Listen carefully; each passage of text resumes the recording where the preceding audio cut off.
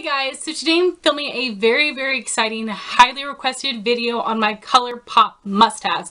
You guys know I'm a true ColourPop addict. I mention them in just about every monthly haul. I've done several reviews, several tutorials. I talk about ColourPop all the time. And just so you guys know, I have never been sent anything from ColourPop. I have purchased everything myself Unfortunately, the way that I will know that I've made it in YouTube is if I ever get on the ColourPop PR list. That would be amazing. I would save so much money a girl can dream. What's even more exciting about this video is that I'm doing it in collaboration with my YouTube bestie Amiee from AM Beauty Life. I'll have her channel and her video linked down below. Please make sure you go check her out. Amiee is actually the person that introduced me to ColourPop. The first person I ever saw do a video on it was Dani from Coffee Break with Dani, but I kind of just thought, oh, okay, they sound nice. But then my friend Amiee had purchased some and she did a swatch video and I about fainted. I was so blown away with the beautiful colors and pigmentation. So back in the day, about two summers ago, I think is when ColourPop came to be as a brand. And at that time, they only had eyeshadows. And that is when I purchased from them. And then that November holiday season is when they came out with lippy pencils and lippy sticks. And then so on and so forth with all these other amazing products and shade extensions. I am so, so excited about all the products ColourPop has to offer. So if you guys would like to hear my thoughts on any of ColourPop products, please check the description box because I will be linking all of my reviews. I have done a review on every single ColourPop product except for their sculpting sticks. I have not purchased those yet, but I definitely will and I will let you know my thoughts on those then. So in my lippy stick review, I had only tried out the glossy satin and matte finishes. Since then, I've tried out the hyper glossy, the cream, the sheer, and the matte X. Let me know if you would like a review on those four finishes or if you think just that one lippy stick review is good enough. I also have tutorials with most of my ColourPop favorites, so I will have all of my ColourPop tutorials linked down below as well. So the description box is going to be mighty full. Please make sure you check it out for a lot of information. So I did not want to put a specific number on this video. I didn't want to do my top 10 ColourPop products because that would just be too impossible and I didn't want to leave out any of my favorites. So I have five eyeshadows, two blushes, four lip liners, 10 lippy sticks, three ultra matte lips, and two ultra satin lips. I did not mention the highlighters, the bronzers, or the liners because they aren't must-have products for me. So I'm just going to jump right in with the eyeshadows. So like I said, I do have five eyeshadow favorites from ColourPop. I have a ton of ColourPop eyeshadows and I am very ashamed to admit that some of those I haven't even worn on my eyes yet. I've only swatched. So after a couple months, I might have new ColourPop must-have eyeshadows. Once I've tried out more of those, that needs to be a specific goal for me. The first shade I have is Get Lucky. This is a liquid-like true gold in an ultra metallic finish.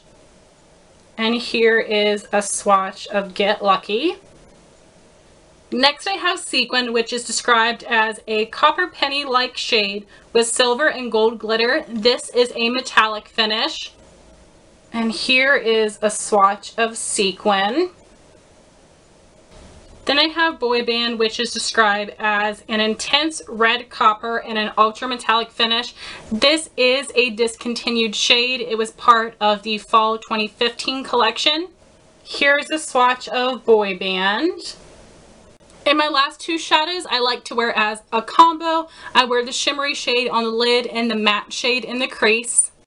Amaze is described as a metallic rose gold with multicolored, multi-dimensional glitter in a metallic finish. And here is a swatch of Amaze. Bill is a muted plum beige with a matte finish. And here is a swatch of Bill. This look holds a special place in my heart because these are the shadows I was wearing when I found my wedding dress. So the ColourPop shadows come in a lot of different finishes, but my favorites would definitely be the Ultra Metallic and the Pearlized because they are super duper pigmented and shiny, but they are smooth. Those finishes do not have any glitter chunks in them. I do have a couple metallic shades featured because the colors are so beautiful, but the metallic finishes tend to have pieces of glitter which do fall out on my face. I don't have any fallout throughout the day, just right after I've applied it and then I just take a brush and brush it right off my face and go on about the day so it isn't a big deal. I have a couple different matte finish shades in my collection and the reason I have them is because the colors are so so beautiful but they are not the easiest formula to work with. I feel like the shimmers are just so much easier to just slap on your lid with your finger, but with the mattes, if you want to apply them in the crease, that's when you have a little bit more trouble. Also, as you can see, I have hit pan on this one, and once you get down this far in the product, I feel like it starts to get a little more creamy and a little gummy, so it gets even trickier to work with. It just becomes a different interesting formula. So now I'm going to show you the brushes that I use to apply the ColourPop eyeshadows. My go-to method for applying ColourPop shadows on my lid is using a sponge tip applicator. Yes, the sponge tip applicators that we all hate on and throw in the garbage. I purchased this little set from Ulta and I have a bunch of them in here. Some used, some unused, and I've actually written the names of the shadows on these so I can just use the same one over and over again with one particular shade. So I will apply one layer with the sponge tip applicator to get the precision, make sure it gets right up to my crease without going into the crease. It just helps keep the look from getting messy. Then I will apply a second layer with my finger to really pack the punch of intensity and shimmer. So definitely recommend applying them that way. Now recently I did try applying the shade Belladonna Lily, which is a matte finish from their spring collection. I applied it on my lid with a brush and it actually worked. I applied it with the MAC 242 shader brush it went on so well. I have not yet used this with any other shadow. I need to use this with my other ColourPop shadows and see how it applies those because if I find an actual brush that works, I would prefer to use that over a sponge tip applicator, but do what works best for you. That's just what I found that works for me. And the brush I use to apply ColourPop shadows in my crease would be this RC Cosmetics Precision Round Top Brush. This is a dupe for the Sigma P82, which I do own, except I prefer the RC Cosmetics because it has longer bristles and it isn't as stiff. So this blends out a lot better than the Sigma brush. So, so I highly recommend this brush if you are looking to apply ColourPop shadows in your crease. So now moving on to ColourPop blushes. I have eight in my collection and I have two of them in my favorites video and that's because I love these shades. The ColourPop blush formula is nice, but I much, much, much prefer using powder blush I feel like they're just so much easier to work with, but I really love these shades and I wanted to feature them. The ColourPop blushes come in two different finishes, matte and satin. I'm going to show you one of each. Holiday is a true mid-tone peachy pink and a matte finish. Here's a swatch of the blush in Holiday. Cheerio is a deep cranberry and a satin finish. And here's a swatch of Cheerio. So the reason that I don't have more of these blushes mentioned my favorites is because they are a bit harder to work with. Today on my cheeks I'm wearing Holiday, which does have nice pigmentation, but the texture is so stiff. I have a hard time really picking up the product on my brush. The best brush I have found to work with those blushes is the Real Techniques buffing brush because this is a more flat, slightly round brush and it is so dense and it is the duo fiber type brush. It picks up the product really well and helps really pack it on the cheek. So even when I use this brush, I do usually still have to apply a couple layers, but this is the best brush I have found to apply these blushes. So now for my favorite lippy pencils. I own nine total, but four of them I would absolutely consider to be must-haves. Aquarius is a soft nude pink. Here's a swatch of the lippy pencil in Aquarius. Bound is described as a mid-tone nude pink. This is a dupe for the MAC lip liner in Whirl. Here's a swatch of the lippy pencil in Bound. Polite Society Lippy Pencil is described as a warm nude. Here is a swatch of the Lippy Pencil in Polite Society. Ellarie Lippy Pencil is described as a blackened violet. And here's a swatch of the Lippy Pencil in Ellarie. I absolutely love the ColourPop Lippy Pencil formula.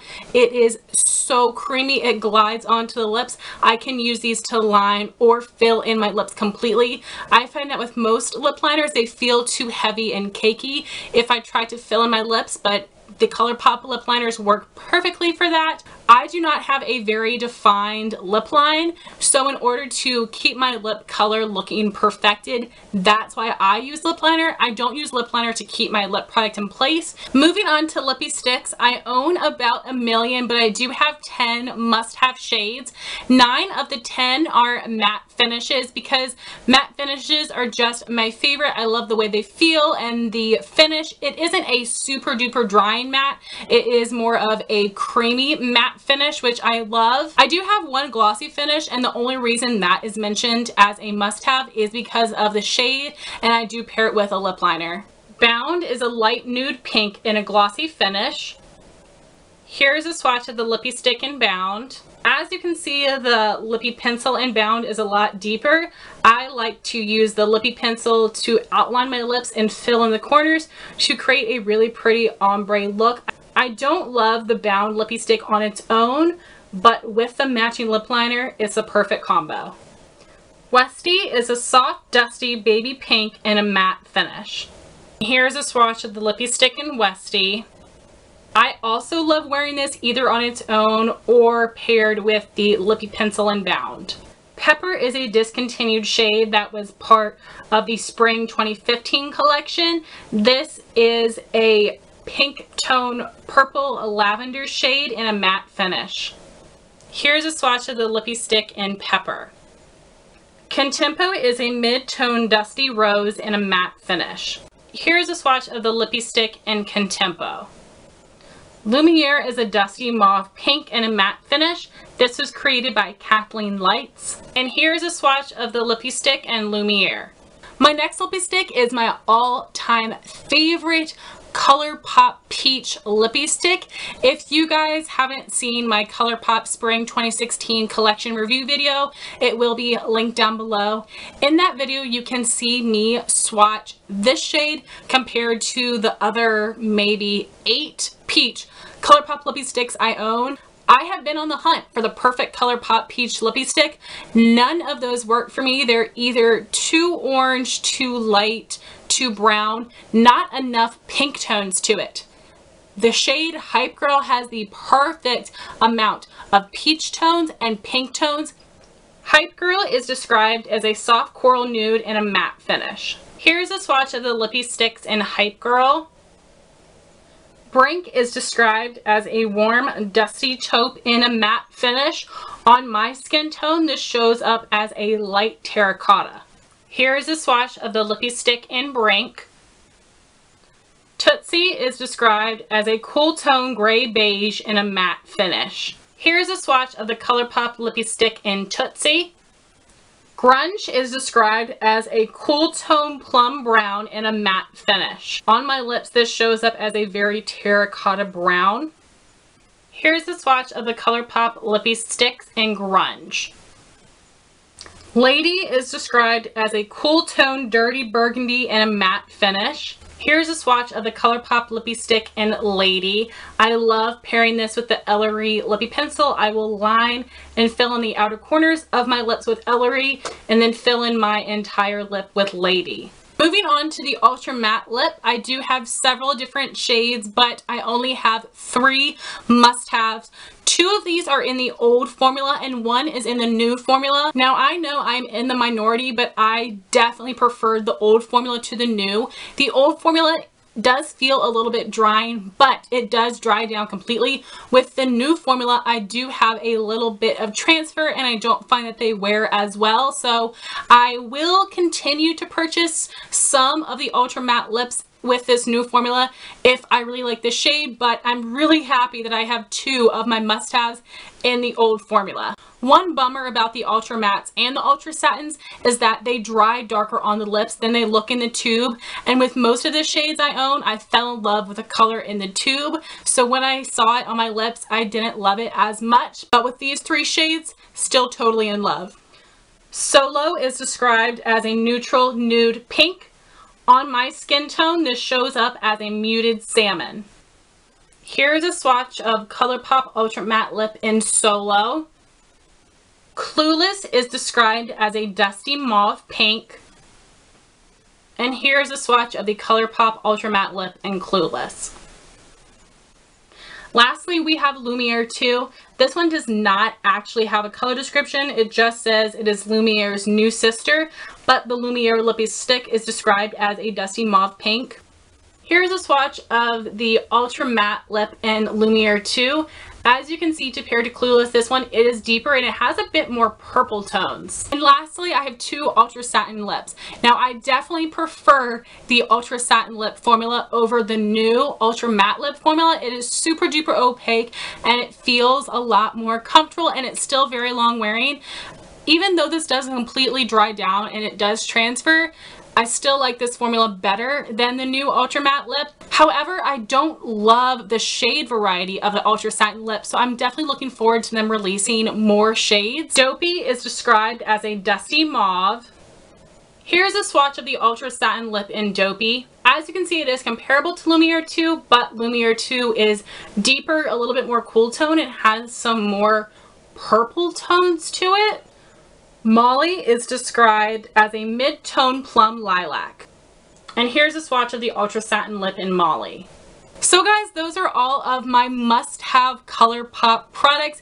Please, please, please leave a comment down below letting me your must-haves. Maybe we have some of the same. Maybe some of the things you'll mention I have in my collection but have neglected. And maybe some of the things that you will mention I will now need to buy off the website. Please make sure you go check out Amiee's video. I know you guys will not be disappointed. I love Amiee's videos so much and I absolutely credit her with my addiction for ColourPop. So thanks a lot, Amiee. Thank you all so much for watching this video. Please like, comment, and subscribe and I'll talk to you soon. Bye guys.